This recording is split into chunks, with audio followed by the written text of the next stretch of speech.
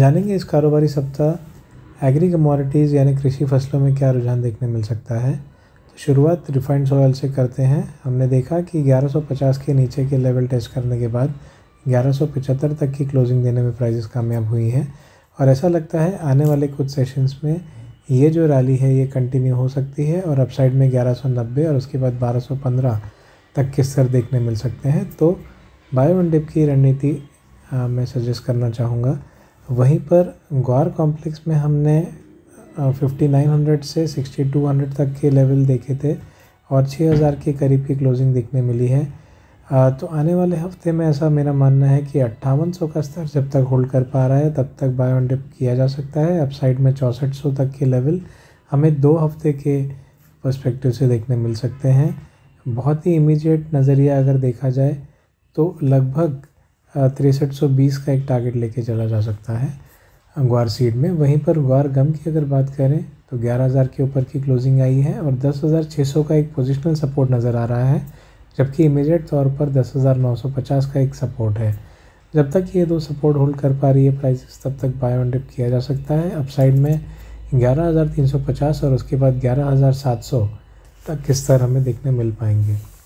वहीं cotton seed oil cake में या बिनौला खल में जिस प्रकार पिछले हफ्तों में बाइंग की सलाह दी गई थी, हमने देखा कि उनतीस सौ के काफ़ी करीब की क्लोजिंग आई है और जो इमीडिएट टारगेट था उनतीस सौ बीस का, वो फ़िलहाल हासिल होता हुआ दिखता है और उसके बाद तीन हज़ार पचास तक भी ये जो रैली है, वो एक्सटेंड होने की संभावना है।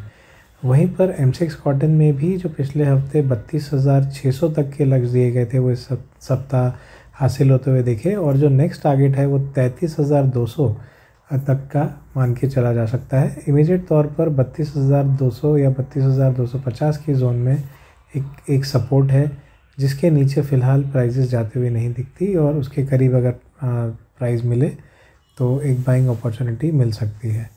वहीं पर मसाला कॉम्प्लेक्स में हमने देखा कि धनिया में और हल्दी में दोनों ने ने ही 9000 के स्तर को छुआ और उसके ऊपर की क्लोजिंग दी है। फ़िलहाल ऐसा लगता है कि दोनों में ही करेक्शन का रुझान देखने मिल सकता है।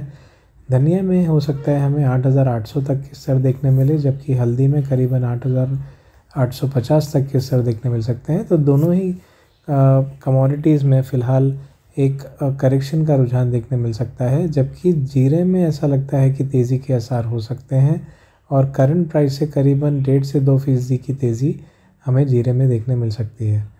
वहीं अगर कैस्टर की बात करें तो हमने गिरावट देखी है और पिछले कुछ हफ्तों में लगभग छप्पन सौ से हमने रैली जो देखी थी, छियासठ सौ तक, उसके बाद हमने फिर से करेक्शन का रुझान देखने मिला है और छः हज़ार के नीचे क्लोजिंग आई है।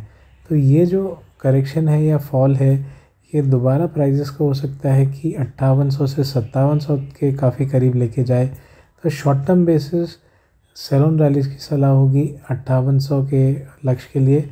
लेकिन अगर हम मीडियम टर्म की बात करें, यानी नेक्स्ट एक या डेढ़ महीने की बात करें तो ऐसा लगता है कि जो छप्पन सौ के लोज थे, उससे बहुत ज़्यादा नीचे प्राइस नहीं जाएँगी।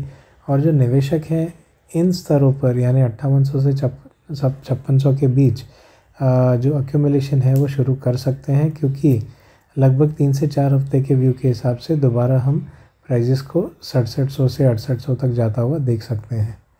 तो ये था एक जायज़ा कि एग्री कमोडिटीज़ में शॉर्ट टू मीडियम टर्म क्या रुख रह सकता है? धन्यवाद।